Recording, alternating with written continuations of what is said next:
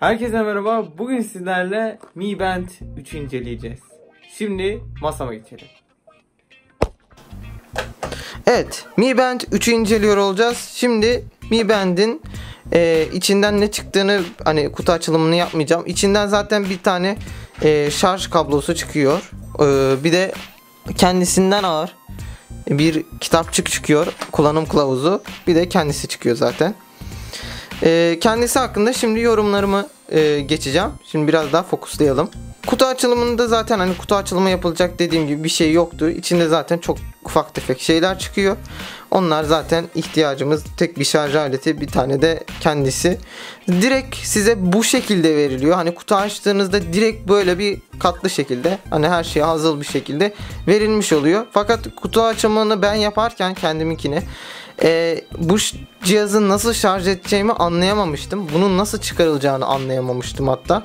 E, sonra fark ettim ki bunu şöyle yaparsak sonra öne doğru itersek çıkıyormuş. Ben çıkaramamıştım. Eğer e, dediğim gibi böyle sorunlar yaşayan varsa ben öğrenip burada bir göstereyim dedim.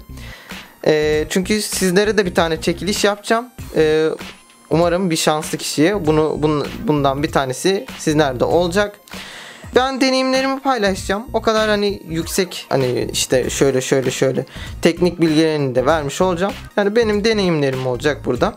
Mi Band 3 benim en sevdiğim özelliği spor yaparken ne kadar yaktığım işte sonra kalp ritmimi ölçmesi, uyku verimliliğimi ölçmesi, sonra bildirim ekranına işte özet olarak göstermesi, Bunlar benim en sevdiğim özellikler. Bir de suya dayanıklı olması mü- müthiş bir şey. Bununla havuza girebilirsiniz.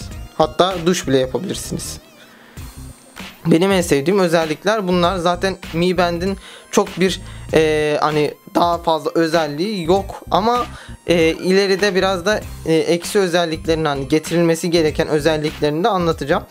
Şimdi Mi Band e, yaklaşık şarj ettikten sonra yani şarj etme süresi de yaklaşık 2 saat. Tabi hızlı bir şarj adaptörünüz varsa bunu kısaltabilirsiniz. Ama dediğim gibi hani bunu şarj ettikten sonra 20 gün gittiğini söylüyorlar ama ben daha bitiremedim. Yani bu benim herhalde 3. günüm. Bugün 3. mü? 2. mi bilmiyorum. Bu bununla e, dediğim gibi hani şu an %79 bir şarjı var. E, gerçekten e, beni götürecek mi bilmiyorum ama bunu şöyle diyeyim ki e, sizin buna ne kadar bildirim gönderdiğiniz önemli olan. Çünkü bildirimler titreşim yapıyor. Titreşim yaptığında bu bir enerjiyi tüketmiş oluyor.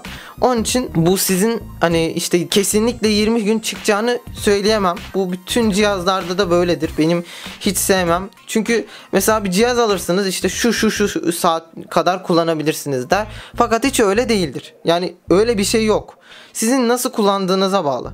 Diyelim bir e, telefon aldınız. Telefonda da aynı şekilde. İşte yok 24 saat konuşma süresi, yok e, işte 14 saat internet. Hangi uygulamaları yükledim? Hangi şeyleri yaptım? O size bağlı yani. O cihazı nasıl kullandığınız önemli. E, bu tür şeyler o cihazın ömrünü veya ömrünü kısaltmaya ve uzatmaya yani o şarjı verim nasıl kullandığınıza bağlı. Yani e, dediğim gibi bu uzun bir e, şarj süresine sahip. Benim en sevdiğim özelliklerinden biri de bu. Yani bir akıllı hem akıllı saat hem e, akıllı bileklik diyebilirim. Gerçekten güzel. Bununla dediğim gibi uyku verimliliğinizi ölçebilir. Ondan sonra işte alarm kurabilirsiniz. Tek alarmı tabi alarm konusuna girersek alarmda şöyle bir şey var.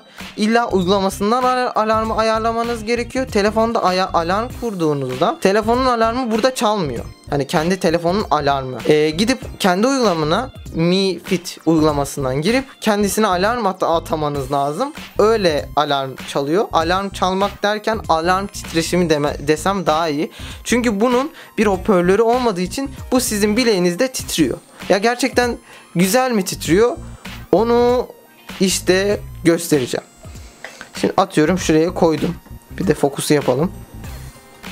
Şimdi atıyorum bunu koydum şuraya. Tabi tam olarak fokuslayamadım. Şöyle masaya koyayım. Ben uygulamadan bir bilekliğimi bul özelliğini aktif edeyim. Bu arada bilekliği bul deyince titremeye başlıyor. Dediğim gibi sesi olsa daha bir güçlü olabilirmiş. Tabii sesi olunca işte yok başka bir şeyler olabilir. Hani o olur o olur. Dediğim gibi bir e, yani bir hoparlörü yani bir ses çıkartma şeyi olabilirdi.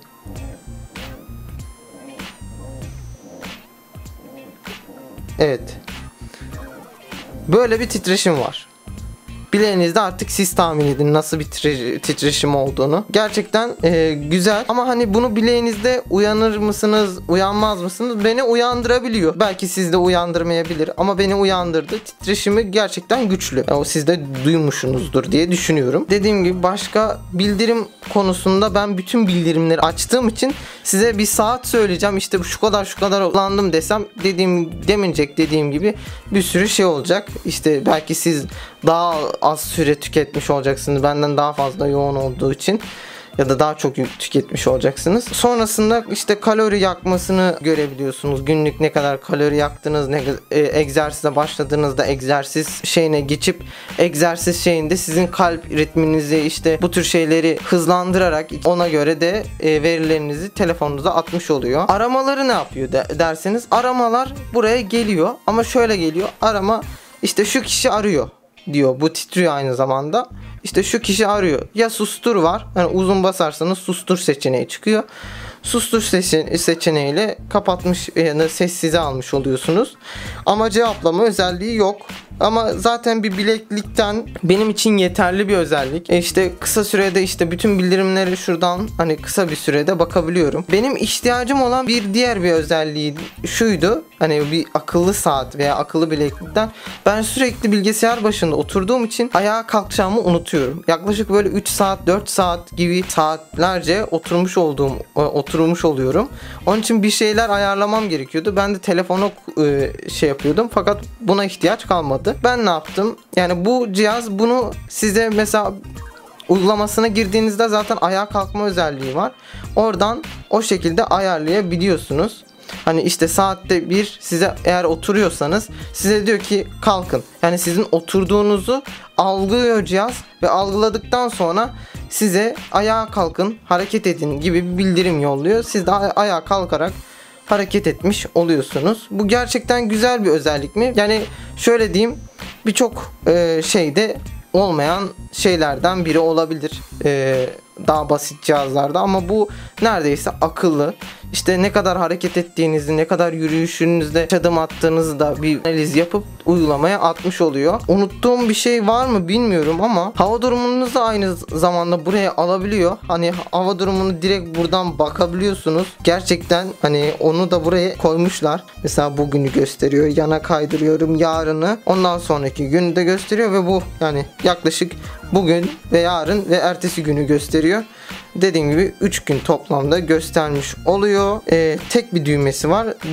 Düğmesi sanırım dokunmatik. Yani bir fiziksel bir şey yok. Cihazı kapatma diye bir şey yok.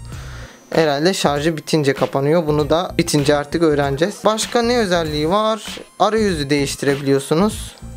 İşte kronometre var cihazı bul var. Eğer cihazı bul derseniz telefonunuz çalıyor. İşte telefonunuz nerede olduğunu bilemiyorsanız şu oraya uzun ekran derseniz arayüzü değiştirme ekranı. Böyle bir ekranda yapabilirsiniz. Yani daha farklı ekran seçenekleri sunuyor cihaz. İşte gördüğünüz yakılan kalori miktarı bugün işte 674 metre evde olduğum için 1118 adım atmışım bugün. Çok güzel bir adım. Genellikle 5000 adım hedefim. Ee, dediğim gibi böyle şeyleri de sunmuş oluyor. Evet şimdi çekiliş konusunda bilgi vereyim. Evet. Mi Band 3'ün katılım şartları şöyle. Bu videoyu beğeniyorsunuz. Sonra bu kanala abone değilseniz yani bana kanala abone değilseniz abone oluyorsunuz. Ve bu video hakkında güzel bir e, yorum yapıyorsunuz. Yorum yaptıktan sonra bunların bir screenshot'ını alıp Instagram hesabıma gidiyorsunuz. Aşağıda linklerini var. Direkt hızlı bir şekilde gidebileceksiniz. Oraya direkt mesajdan yolluyorsunuz bana. Yolladıktan sonra eğer bu katılım şartlarını hani şöyle diyeyim çekilişte kazanma şansınızı iki katına çıkartmak için de son postuma Instagram postuma e, iki arkadaşınızı ekliyorsunuz ve yapmanız gereken bu kadar. Dediğim gibi başka bir şey kalmadı.